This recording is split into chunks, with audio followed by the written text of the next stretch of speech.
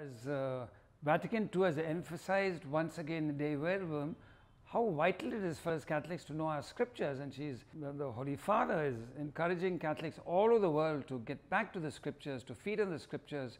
As Jesus himself said, um, man shall not live by bread alone but by every word that proceeds from the mouth of God. St. Jerome says, uh, ignorance of scriptures, ignorance of Christ.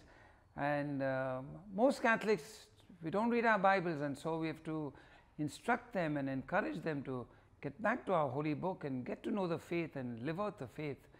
And so Bible reading is not optional, it's, it's part of our Catholic uh, tradition.